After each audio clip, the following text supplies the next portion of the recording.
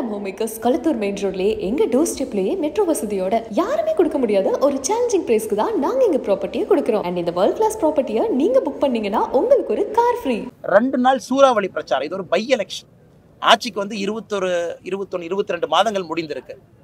அது பார்த்தீங்கன்னா திமுக காரங்க ஃபுல் தமிழ்நாடே வந்து ஈரோடு கிழக்கில் தான் உட்காந்துருக்காங்க அது முதலமைச்சர் ரெண்டு நாள் சூறாவளி பிரச்சாரம் பாயிண்ட் பாயிண்டாக போட்டிருக்காங்க நேற்று பார்த்தேன் ஏதோ நீங்கள் பத்திரிகை நண்பர்கள் போட்டிருந்தீங்க. அப்புறம் இவங்க போகிறாங்க அவங்க போகிறாங்க இதெல்லாம் ஒரு பை எலெக்ஷனுக்கு ஒரு ஆளும் கட்சி பயந்து முதலமைச்சர் பயந்து இந்த அளவுக்கு எல்லா அமைச்சர்களை இறக்கி தமிழ்நாட்டில் இருக்கக்கூடிய எல்லா திமுக காரங்களையும் ஈரோடு கிழக்கு தொகுதியில் போட்டு இந்த அளவுக்கு தமிழக சரித்திரத்தில் ஒரு ஆளுங்கட்சி ஒரு பை எலெக்ஷனை ஃபேஸ் பண்ணதா சரித்திரம் கிடையாது. அதை பார்க்கும் பொழுது மிக தெளிவாக தெரியுது. அவர் வாய் திறக்கணும். அண்ணன் ஈகி கே சிலங்கோவன் அவர்கள் இன்னும் வாய் திறந்து பேச ஆரம்பிக்கல. ஆனால் நம்முடைய பிரச்சார பீரிங்கி அண்ணன் ஈவி கே சிலங்கோவன் தான். அவர் அந்த பக்கம் பேச ஆரம்பிச்சாங்கன்னா மீட்டர் மாதிரி ஓட்டு வரும். இளையராஜா ஐயாவை திட்டிட்டாரு பிற்படுத்தப்பட்ட சமுதாயத்தை திட்டிட்டாரு தாழ்த்தப்பட்ட சமுதாயத்தை திட்டாரு அந்த மாதிரி பேர் சொல்லி கூப்பிட்டார். அது மாதிரி வரிசையா. அவரால் சும்மா இருக்க முடியாது. நீங்க பாருங்க ராகுல் காந்தி அவர்கள் எப்படி எங்களுடைய பிரச்சார பீரிங்கியாக இரண்டாயிரத்தி பதினாலில் இரண்டாயிரத்தி பத்தொன்பதுல இருந்தாரோ இரண்டாயிரத்தி இருபத்தி மூன்று ஈரோடு கிழக்கு தேர்தலினுடைய பிரச்சார பீரிங்கியாக அண்ணன் ஈவி கே சிலங்கோவன் தான் இருப்பார். நான் சொல்வதை பத்திரிகை நண்பர்கள் இருபது நாள் கழிச்சு நீங்க சொல்லுவீங்க ஆனால் ஒரு வாய் திறந்தாவே இந்த பக்கம் மீட்டர் ஏறுது நான். அதனால் நான் நம்பிக்கையாக இருக்கின்றேன். குறிப்பாக வந்து இந்த இதெல்லாம் பார்த்தீங்கன்னா சண்டையெல்லாம் வர்றது இந்த சோஷியல் மீடியாவில் ட்விட்டரில் தான் எல்லாம் இவங்க ப- அவங்கள பற்றி அவங்க சொல்கிறது அவங்கள பற்றி இவங்க சொல்கிறது இதான் சண்டை நடந்துகிட்டு இருக்கு. அதனால் நம்ம புரிஞ்சுக்கணும். அதாவது ஒரு கூட்டணி தர்மத்தின்படி ஒரு கட்சி வேட்பாளர் களமிறக்கி இருக்கோம் அதை ஜெயிக்க வைக்க வேண்டியது நம்முடைய பொறுப்பு நம்முடைய தார்மீக கடமை அது. அதை பாரதிய ஜனதா கட்சி செய்யும். மற்றபடி இங்கிருந்து ஒரு தலைவர் சொல்றாங்க அங்கிருந்து யாரோ சொல்றாங்க. அதெல்லாம் எடுத்துக்க வேண்டாம். மீடியாவில் சில இடத்துல அப்படி சோர்ஸ்னு போடுறாங்க ஒரு செய்தின்னு போடுறாங்க. சமூக வலைதளத்தில் ஏதோ ஒரு ஐடியிலேருந்து போடுறாங்க. அது முக்கியம் கிடையாது. இன்னைக்கு நம்ம இலக்கு பிப்ரவரி இருபத்தி ஏழாம் தேதி அந்த தேர்தல் நாளன்று நம்முடைய வேட்பாளரை வெற்றி வேட்பாளராக மாற்றி காட்டுவதற்கு மட்டும்தான் நம்ம எனர்ஜி போகணுமோ தவிர வேற எங்கேயும் நம்ம எனர்ஜி போகக்கூடாது. தமிழகத்தில் சில அரசியல் கட்சிகள் வெறும் பேச்சை மட்டும் வைத்து வியாபாரம் செய்து கொண்டிருக்கின்றார்கள். இலங்கை தமிழர்களுக்காக நாங்கள் இதை செய்கிறோம் அதை செய்கிறோம் காலங்காலமாக பேசுகிறாங்க ஆனால் நம்மை பொறுத்தவரை தீர்க்கமாக ஒரு ஒரு படியாக பாரதிய ஜனதா கட்சி முன்னேறி கொண்டிருக்கிறது. குறிப்பாக மத்திய அரசு தாவி கொண்டிருக்கின்றார்கள். படிகள் படிகளாக தாவி கொண்டிருக்கின்றார்கள். அது இலங்கைக்கு போனோம்னா வடகிழக்கு பகுதியில் மலையக தமிழர்கள் இடத்துல எவ்வளவு நல்ல விஷயங்களை நம்முடைய அரசு செய்திருக்கின்றார்கள். அறுபதாயிரம் வீடுகளை கட்டி கொடுத்துருக்காங்க நம்முடைய அரசு நரேந்திர மோடி ஐயா அவர்கள். குறிப்பாக உங்களுக்கு தெரியும் இந்த ஆண்டு இந்த இரண்டாயிரத்தி இருபத்தி மூன்றாவது ஆண்டு நம்முடைய ஜி டுவெண்ட்டி அதனுடைய தலைமை வந்து இந்தியா கிட்ட வந்திருக்கு. அதை குறிக்கும் விதமாக பல விதமான விஷயங்கள் நடந்து கொண்டிருக்கிறது. இந்த இன்டர்நேஷ்னல் இயர் ஆஃப் மில்லட்ஸ் அதாவது சிறுதானியங்களுடைய வருடமாக கூட ஐநா சபை வந்து டிக்ளேர் பண்ணியிருக்கிறாங்க. அது இந்தியாவில் இருக்கக்கூடிய சிறுதானியங்கள் உலகம் முழுவதும் செல்ல ஆரம்பித்திருக்கிறது. அது ஒரு முக்கியம். அதை தாண்டி இந்த ஜி டுவெண்ட்டி ஆண்டு முழுவதுமே நம்முடைய பிரதமர் அவர்கள் சில முக்கியமான விஷயங்களை சொல்லியிருக்கின்றார்கள். இந்தியாவை சார்ந்த விஷயங்களை மையப்படுத்தி குறிப்பாக யோகா ஆயுர்வேதா நம்முடைய சாஃப்ட் பவர் ஸ்டேட்டஸ் இது உலகம் முழுவதுமே எடுத்துகிட்டு போயிட்டு இருக்கோம் சமீபத்தில் சென்னை ஐஐடி வளாகத்தில் ஜி டுவெண்ட்டி எஜுகேஷன் மீட் ஒரு மூன்று நாட்கள் நடந்து முடிந்திருக்கிறது. நூற்றி தொண்ணூற்றி எட்டு இடங்களில் ஐம்பத்தி ஐந்து மாநகரத்தில் நடக்கக்கூடிய அந்த மீட் வந்து தமிழ்நாட்டில் கூட சென்னை கோயம்புத்தூர் மகாபலிபுரம் மூன்று இடங்களுக்கு கிடைத்திருக்கிறது. இதை குறிக்கும் விதமாக தமிழக பாரதிய ஜனதா கட்சி நம்முடைய தலைவர்கள் அனைவரும் இணைந்து பத்து லட்சம் மரக்கன்றுகளை இரண்டாயிரத்தி இருபத்தி மூன்று ஆண்டிலே நடக்கூடிய அந்த இந்த அற்புதமான நிகழ்ச்சியை இங்கே துவக்கி வைத்திருக்கின்றார்கள். முதல் கட்டமாக இன்னைக்கு நம்முடைய பள்ளிக்கு செல்லக்கூடிய குழந்தைகள் சமூக ஆர்வலர்களுக்கு மரக்கன்றுகளை முதல் கட்டமாக இங்கே கொடுத்திருக்கின்றோம். இந்த பகுதியில் மட்டும் பதினைந்தாயிரம் மரக்கன்றுகள் இங்கே இருக்கக்கூடிய மண்டல் தலைவர்கள் மூலமாக ஆங்காங்கே எங்கேயெல்லாம் நட முடியுமோ அங்கே மரத்தை நட்டு அதை பாதுகாத்து உங்களுக்கு தெரியும் குறிப்பாக நான்கடி ஒரு மரக்கன்று வளரும் வரை அதை பாதுகாப்பது மிக மிக அவசியம். குறிப்பாக மாநகர பகுதியில் ஒரு சின்ன கன்றாக நட்டு வைக்கும் பொழுது அது பட்டு போவதற்கான வாய்ப்பு மிக அதிகம். அதனால் இந்த பத்து லட்சம் மரக்கன்றுகளை கூட பெயரளவுக்கு நடாமல் அதை வாங்குறவங்க வந்து அவங்களுடைய மரமாக அதை பாவித்து இரண்டாயிரத்தி இருபத்தி மூன்றில் அந்த மரக்கன்றை வைத்து தொடர்ந்து பாதுகாத்து வர வேண்டும். ஏன்னா அவங்களுக்கு ஒரு சிம்பாலிசம். இந்தியாவிற்கு தலைமை பொறுப்பு வந்த பொழுது இந்த மரத்தை நான் நட்டேன். இதை வந்து குறிப்பாக இந்த மரம் பெரிதாக வரும் பொழுது கூட அவர்கள் பார்த்து கொண்டு இருக்க வேண்டும். அதிலும் குறிப்பாக நம்முடைய ஆசை என்னன்னா இருபத்தி ஐந்து ஆண்டுகள் கழித்து நம்முடைய பிரதமர் அவர்கள் அமிர்த காலம் என்று சொல்லுகின்றார். இருபத்தி ஐந்து ஆண்டு காலம் கழித்து இரண்டாயிரத்தி நாற்பத்தி ஏழு நம் வல்லரசாக மாறும் பொழுது அவர்கள் நட்டு வைத்திருக்கக்கூடிய அந்த மரமும் கூட அவங்க கூட இருபத்தி ஐந்து ஆண்டுகள் வளர்ந்து வர வேண்டும் என்கின்ற ஒரு உன்னதமான சிந்தனையில இந்த அற்புதமான திட்டத்தை இன்று துவக்கி வைத்திருக்கின்றோம். தமிழகத்தில் இருக்கக்கூடிய அனைத்து மாவட்டங்களுக்கும் இதை எடுத்துச் செல்ல இருக்கின்றோம். இந்த ஒரு வருடம் முழுவதுமாக. குறிப்பாக பாரதிய ஜனதா கட்சி நம்முடைய நடைப்பயணத்தில் செல்லுகின்ற இடத்துல எல்லாம் இந்த மர மரக்கன்றை நட்டுக்கிட்டே போவோம். அதிலும் குறிப்பாக நாட்டு மரங்கள். தமிழகத்தை சார்ந்த நாட்டு மரங்கள். எந்த மரம் நம்முடைய தன்மைக்கு நம்முடைய மண்ணிற்கு எந்த மரம் சரியாக இருக்குமோ அந்த மரத்தை மட்டும்தான் நம்ம வந்து தேர்ந்தெடுத்திருக்கோம். அதுவும் குறிப்பாக வேம்பு மரம் அந்த மாதிரி மரங்கள் மட்டும்தான் எடுத்திருக்கோம். அதில் வந்து சில பயன்களும் உங்களுக்கு கிடைக்கணும். காற்றை வந்து சுத்தப்படுத்தணும். அது மூலமாக மக்களுக்கு நன்மை அந்த ப- மரத்தின் மூலமாக கிடைக்க வேண்டும் என்பது நோக்கம். அதனால் இந்த நிகழ்ச்சிக்கு வந்திருக்கக்கூடிய அனைவருக்கும் இந்த நேரத்தில் நன்றி தெரிவித்து இதை முன்னெடுத்து நடத்தி கொண்டிருக்கக்கூடிய இளைஞர் நலம் மற்றும் விளையாட்டு அந்த பிரிவினுடைய தலைவராக இருக்கக்கூடிய அண்ணன் அமர்பிரசாத் ரெட்டி அவர்கள் நம்முடைய மாநிலத்தினுடைய துணைத் தலைவர் சென்னை பகுதியில் முதல் கட்டமாக இந்த பதினைந்தாயிரம் மரங்களை பொறுப்பெடுத்து அதை நான் கொண்டு சேர்த்தே தீர்வேன் என்று இங்கே வந்திருக்கக்கூடிய அண்ணன் கருநாகராஜன் அவர்கள் அப்துல் கலாம் ஐயா சலீம் ஐயா வந்திருக்காங்க. அப்துல் கலாம் ஐயா குடும்பத்திலிருந்து கலாம் ஹவுஸ் அதை மியூசியத்தை ஐயா தான் நடத்துகிறாங்க அவர்கள் வந்திருப்பது நமக்கு ஒரு பெரிய பாக்கியம். அவருடைய கையில் தான் முதல் முதல் மரத்தை வந்து குழந்தைங்களுக்கு ஐயா எடுத்து கொடுத்தாங்க. மாநிலத்தினுடைய செயலாளர் சகோதரி சுமதி வெங்கடேஷ் அவங்க வந்திருக்காங்க. இந்த மாவட்டத்தினுடைய தலைவர் அண்ணன் உட்பட மண்டல் தலைவர் உட்பட எல்லோரும் வந்திருக்கின்றார்கள். அவர்களுக்கு நன்றியை தெரிவித்து கட்சியினருக்கு ஒரே ஒரு அறிவுரை மட்டும் பேருக்காக இதை நடத்தாமல் இந்த மரத்தை நம்ம சொன்ன அந்த உத்தேசம் வந்து பூர்த்தி அடையணும் அதனால் நீங்கள் மெதுவாக போனால் கூட ஒரு ஒரு மரத்தை வாங்குறவங்க பேருக்கு வாங்காமல் அவங்ககிட்ட சொல்லி அவேர்னஸை ஏற்படுத்தி அந்த மரத்தை கொடுத்து அதை எப்படி பாதுகாப்பதுன்னு சொல்லி அந்த மரம் கரெக்டாக நட வேண்டிய இடத்துல நடப்பட்டு ஒரு நம்பர்ஸ்க்காக இல்லாமல் அந்த மரம் இருபத்தி ஐந்து ஆண்டுகள் வளர்ந்து வர வேண்டும். அதன் மூலமாக தமிழகத்திற்கு பயன் கிடைக்கணும். குளோபல் வார்மிங் குறையணும். நிறைய சைடு எஃபெக்ட்ஸ் இதில் நல்ல சைடு எஃபெக்ட்ஸ் இதில் நிறைய இருக்குது அது நிச்சயமாக நம்முடைய கட்சி நண்பர்கள் அதை முன்னெடுத்து செல்வார்கள் என்கின்ற நம்பிக்கையோடு. இதை தாண்டி உங்களுக்கு கேள்வி இருந்தால் கேளுங்கன்னா பதில். இலங்கை இன்னைக்கு செல்றோம். மீனவர் நலன் சார்ந்த பிரச்சனைகள் குறித்து அங்க இலங்கையில பேச இருக்கிறோம் என்ன மாதிரியான பிரச்சனைகள் தமிழக அரசின் தரப்புல தமிழக மீனவர்களுக்காக பாஜக முன்னெடுக்க போகுது? ஆனால் உங்களுக்கு தெரியும் இலங்கையை பொறுத்தவரை அதனுடைய சரித்திரம் என்பது நீண்ட நெடிய சரித்திரம். அது பிரிட்டிஷ் காலத்திலேருந்தே ஆரம்பிக்கலாம். கச்சைத்தீவு தாரை வார்க்கப்பட்டதிலிருந்து போகலாம் அதன் பின்பு ராஜீவ்காந்தி அவங்க அக்காடு ஜெயவர்தன் அக்காடு வந்ததுக்கப்புறம் குறிப்பாக இந்த பதிமூன்றாவது அமெண்ட்மெண்ட் என்பது பெயரளவில் மட்டும்தான் இருக்குது அது இந்த அளவுக்கு வந்து பிரச்சனையை வந்து ஏற்படுத்தி இருக்கு நம்ம இலங்கை போகும்பொழுது தெரியும். குறிப்பாக வடகிழக்கு பகுதி ஜஃப்னாலாம் போனோம் யாழ்ப்பாணம் போனோம் அப்படின்னா எந்த அளவுக்கு அதனால் பிரச்சனை ஏற்பட்டிருக்கிறது ஒரு செல்ஃப் கவர்னன்ஸ் இல்லை அங்கே இருக்கக்கூடிய தமிழர்களுக்கு. இதை தொடர்ச்சியாக நம்முடைய பிரதமர் அவர்கள் பதவியேற்ற நாட்களிலிருந்து இரண்டாயிரத்தி பதினாலிருந்து தொடர்ச்சி அதை பற்றி பேசுகிறாங்க அதுவும் கூட இடையில வந்து பதிமூன்றாவது அமெண்ட்மெண்ட்டை நடைமுறைப்படுத்தினாங்க. ஆனால் அதில் வந்து போலீஸ் பவர்ஸும் லேண்ட் பவர்ஸ் இல்லை. அதாவது காவல்துறையினுடைய பவர்ஸும் நிலத்தினுடைய பவர்ஸும் கொடுக்காதனால அது பெயரளவுக்கு மட்டும்தான் வெறும் பதிமூன்றாவது அமெண்ட்மெண்ட் அப்படிங்கிறது இருந்துச்சு. இப்பொழுது நம்முடைய அரசு குறிப்பாக நம்முடைய பிரதமர் திரு நரேந்திர மோடி அவர்கள் வெளியுறவுத்துறை அமைச்சர் திரு ஜெய்சங்கர்ஜி அவர்கள் இது ரொம்ப ஆக்ரோஷமாக கடுமையாக எடுத்திருக்காங்க. அதாவது இதை செய்யணும் இதுக்கான நேரம் வந்துருச்சு இது சரியான நேரம் அப்படின்னு எடுத்திருக்காங்க. அது ஒரு பக்கம் அரசு இதில் வந்து ஒரு ட்ராக் போயிட்டுருக்கு. அதே நேரத்தில் தமிழக பாரதிய ஜனதா கட்சியை பொறுத்தவரை இலங்கையில் இருக்கக்கூடிய கட்சிகளோடு ஒரு நட்புறவை வளர்த்து கொண்டு வருகின்றோம். அது மலையக தமிழர்களுக்காக போராடுகின்ற கட்சியாக இருந்தாலும் சரி வடகிழக்கு தமிழர்களுக்காக நார்த் ஈஸ்டில் போராடக்கூடிய கட்சியாக இருந்தாலும் சரி அவர்களோடு ஒரு நட்புறவை நாம் ஏற்படுத்தி கொண்டிருக்கின்றோம். அதில் குறிப்பாக நமக்கு தெரியும் இந்த பிப்ரவரி நான்காம் தேதி இலங்கையினுடைய இண்டிபெண்டன்ஸ் டே அதை வந்து இலங்கை அரசு வந்து மூன்று இடத்துல கொண்டாடி கொண்டிருக்கின்றார்கள். கொழும்புல நான்காம் தேதி அதனுடைய பிரதமர் திரு ரணில் விக்ரம்சிங்கே அவங்க கொண்டாடினாங்க. அதன் பிறகு கண்டியில கொண்டாடினாங்க. வருகின்ற பதினொன்றாம் தேதி ஜஃப்னாவில் வந்து கொண்டாடுறாங்க. அதில் மிக முக்கியத்துவம் என்ன அப்படின்னா நம்ம ஜஃப்னாக்காக நம்முடைய அரசு நம்முடைய பாரத பிரதமர் நரேந்திர மோடி அவர்கள் கடைசியாக இரண்டாயிரத்தி பதினேழு அங்கே சென்ற பொழுது ஜஃப்னாக்கு மிக முக்கியமாக இந்திய இலங்கை தமிழர்கள் கலாச்சார மையத்திற்காக நாம் நிதி கொடுத்து அது யாழ்ப்பாணத்தில் ரொம்ப அற்புதமாக அந்த கலாச்சார மையம் உலகத்தில் எங்கேயுமே அந்த மாதிரி ஒரு கலாச்சார மையம் இருக்காது. தமிழர்களுடைய நம்முடைய தொன்மையை பறைசாற்றி ஒரு மையம் ரொம்ப அற்புதமான ஒரு வேர்ல்டு கிளாஸ் ஃபெசிலிட்டி அது தயாராகி கொண்டிருக்கிறது. அதனுடைய திறப்பு விழாவும் கூட வருகின்ற பதினொன்றாம் தேதி ஜஃப்னாவில் வந்து இலங்கையினுடைய பிரதமர் திரு ரணில் விக்ரமசிங்கே அவர்கள் அதை திறந்து வைக்கின்றார்.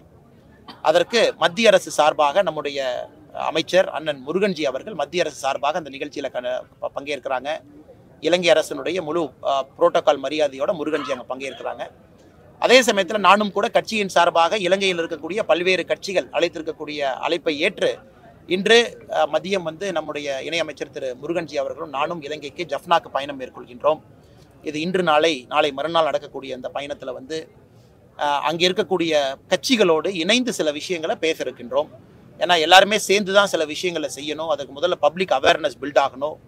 இலங்கையில் இருக்கக்கூடிய வடகிழக்கில் இருக்கக்கூடிய தமிழ் கட்சிகள் அனைவருமே இந்த கோரிக்கையை பொறுத்தவரை நம்மோடு ஒன்றாக இருக்கின்றார்கள். அது ஒரு பக்கம்.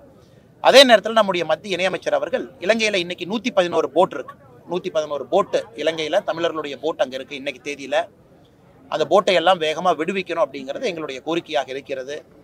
அதற்கு கூட நம்முடைய இணையமைச்சர் திரு முருகன்ஜி அவர்கள் அங்கே இருக்கக்கூடிய ஃபிஷரிஸ் மினிஸ்டர் அவங்களோட வந்து பேச்சுவார்த்தை நடத்துகிறாங்க நம்ம அப்பீல் இந்திய அரசு சார்பாக முருகன்ஜி சொல்வதற்கு வாய்ப்பு இருக்குது சொல்லுவாங்க. அது ஒரு பக்கம். அதே போல் நமக்கு தெரியும் இந்த காலங்காலமாக இருக்கக்கூடிய இந்த மீனவர்கள் பிரச்சனை. உங்களுக்கு தெரியும் போர்க்கால அடிப்படையில் இரண்டாயிரத்தி பதினான்குக்கு பிறகு எப்படி நம்முடைய அரசு வேகமாக விரைந்து செயல்பட்டு இலங்கை சிறையில் இருக்கக்கூடிய தமிழ் மீனவர்களை கொண்டு வரோம் அப்படின்னு பத்திரிகை நண்பர்கள் நீங்களே பார்க்குறீங்க.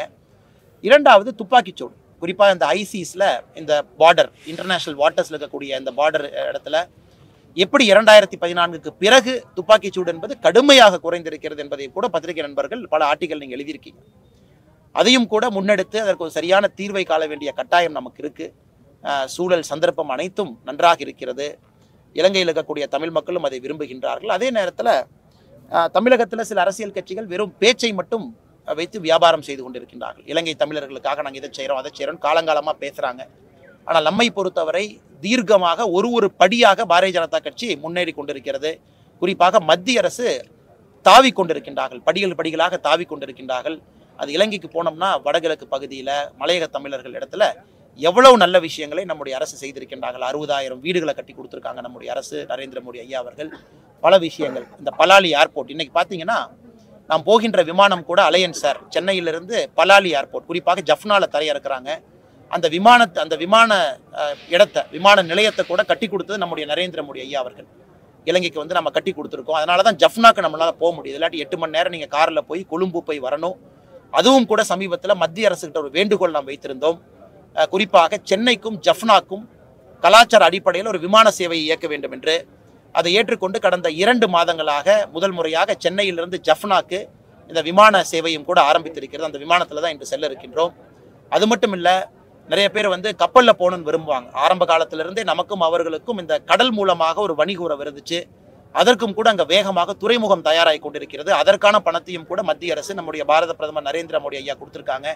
அதுவும் வேகமாக வேலைகள் நடந்து வருகிறது. வெகு விரைவில் தமிழகத்திற்கும் இலங்கைக்கும் ஒரு கப்பல் சேவை ஆரம்பிப்பாங்க இதெல்லாம் வந்து எதிர்க்கட்சி நண்பர்களுக்கு சொல்வதற்கு கடமைப்பட்டிருக்கின்றேன் காரணம் நம்முடையது வெறும் பேச்சாக இல்லை. இது செயலாக இருக்கிறது. ஒரு ஒரு விஷயமாக மோடிஜி அவர்கள் செய்கிறாங்க ஆனால் அது எங்கேயுமே மோடிஜி வந்து ஒரு மைக் எடுத்து நான் இதை செஞ்சு அதை செஞ்சுன்னு சொல்றதில்ல. இங்க இருக்கிற கட்சிகள் வெறும் வாய்ஸ் அவடால் மட்டும்தான் விடுக்கின்றார்கள்.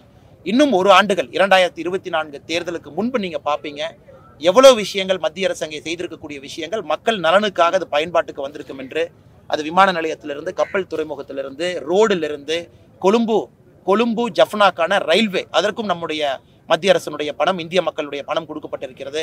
அதுவும் ஆறு மாதத்திற்கு முன்பு அந்த ரயில் சேவையும் தூங்கப்பட்டிருக்கிறது. ஸோ எல்லா இடத்துலையுமே பார்த்தீங்கன்னா ஒரு நாடு இன்னொரு நாட்டுக்குள்ள போய் இவ்வளவு விஷயம். கிட்டத்தட்ட இரண்டு புள்ளி ஒன்று பில்லியன் டாலருக்கு மேலே இலங்கைக்கு நாம் நிதியுதவி செய்திருக்கின்றோம். கடந்த ஒன்றரை வருஷ காலத்தில் அதற்கு முக்கிய காரணம் அங்கே இருக்கக்கூடிய தமிழர்கள் பாதிக்கப்படக்கூடாது. இந்த பொருளாதார நெருக்கடியில் எந்த விதமான பிரச்சனையும் வரக்கூடாது என்பதற்காக. அதனால் இந்த மூன்று நாள் பயணம் இது முருகன்ஜி அவர்கள் அரசு பயணமாக வருகின்றார்கள். நான் கட்சியின் சார்பாக அங்கே செல்லுகின்றேன் நல்ல விஷயங்கள் நடக்கும் என்கின்ற நம்பிக்கையோடு. ஈரோடு கிழக்கு இன்று இன்று சாயங்காலம் வந்து அனைத்து இந்திய அண்ணா திராவிட முன்னேற்ற கழகத்தினுடைய வேட்பாளர் அறிமுக கூட்டம் இருக்கிறது. அண்ணன் இபிஎஸ் அவர்கள் அழைத்திருந்தார்கள். அங்கே வர வேண்டும் என்று அதனுடைய தேர்தல் குழு பொறுப்பாளராக இருக்கக்கூடிய அண்ணன் செங்கோட்டையன் அவர்கள் அழைத்திருந்தார்கள். இன்று இலங்கை செல்ல இருக்கக்கூடிய காரணத்தினால் நம்முடைய கட்சியின் சார்பாக நம்முடைய மூத்த தலைவர் முன்னாள் மாநில தலைவர் அண்ணன் சிபி ராதாகிருஷ்ணன் அவர்கள் இன்று அந்த வேட்பாளர் அறிமுக கூட்டத்தில் ஈரோட்டில் பங்கெடுப்பார்கள். வருகின்ற காலத்தில் நாங்கள் அனைவருமே மிக மிக தீர்க்கமாக முக்கியமாக அனைவருமே உயிரை கொடுத்து பாடுபட்டு அனைத்து இந்திய அண்ணா திராவிட முன்னேற்ற கழகத்தினுடைய வேட்பாளர் வெற்றி பெறுவதற்கு உறுதியாக உள்ளே வேலை செய்வோம். நானும் கூட இப்போ தெரியும் கர்நாடகா கோ இன்சார்ஜா போட்டிருக்காங்க. அடுத்த மூன்று மாத காலம் கர்நாடகாவில் எலெக்ஷன் வருது. பட் இருந்தும் அதிக நேரத்தை கொடுப்பதாக அண்ணன் செங்கோட்டையன் அவர்களுக்கு அண்ணன் இபிஎஸ் அவர்களுக்கு நானும் சொல்லியிருக்கின்றேன்.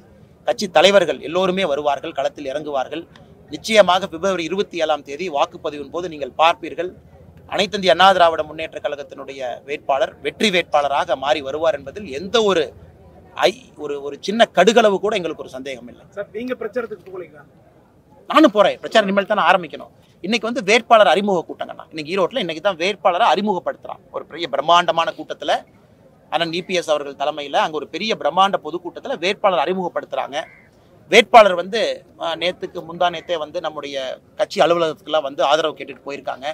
நம்முடைய கட்சி தலைவர்கள் எல்லாமே களத்துக்கு போக ஆரம்பிச்சிட்டாங்க. இன்றையிலிருந்து அப்படியே பிரச்சாரம் ஆரம்பிக்கும். அப்படியே வரிசையாக சூடுபிடிக்கும் ஸோ நாம் வந்ததுக்கப்புறம் அந்த இலங்கை மூன்று நாள் பயணம் முடித்து வந்த பிறகு நிச்சயமாக உள்ள களத்தில் இறங்கி வேட்பாளரை வெற்றி பெறச் செய்வது எங்களுடைய கடமையாக இருக்கும். அதை செய்வோம்.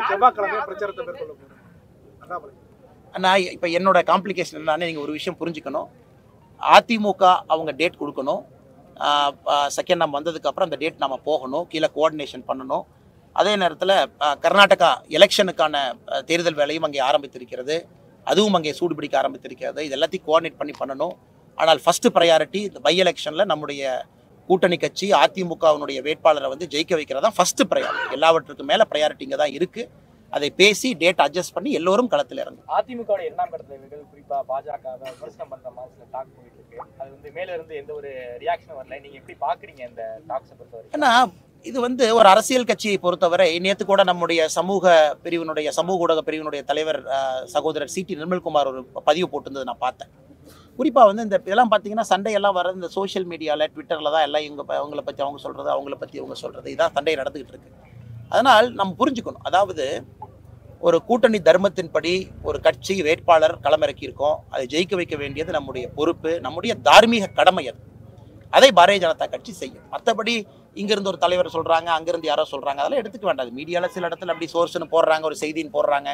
சமூக வலைதளத்தில் ஏதோ ஒரு ஐடியிலேருந்து போடுறாங்க. அது முக்கியம் கிடையாது. இன்றைக்கி நம்ம இலக்கு பிப்ரவரி இருபத்தி ஏழாம் தேதி அந்த தேர்தல் நாளன்று நம்முடைய வேட்பாளரை வெற்றி வேட்பாளராக மாற்றி காட்டுவதற்கு மட்டும்தான் நம்ம எனர்ஜி போகணுமோ தவிர வேற எங்கேயும் நம்ம எனர்ஜி போகக்கூடாது. இப்ப இந்த இடைத்தேர்தலில் ஓ பன்னீர்செல்வம் அவர் அனௌன்ஸ் பண்ண அந்த வேட்பாளரை திரும்ப பெற்றுட்டாரு. ஆனாலும் அவங்க தரப்புல இருந்து இரட்டை இலைக்கு வாக்கு சேகரிப்போம்னு சொல்றாங்க. ஆனா வேட்பாளர் பெயரை பயன்படுத்த மாட்டோம்னு சொல்றாங்க.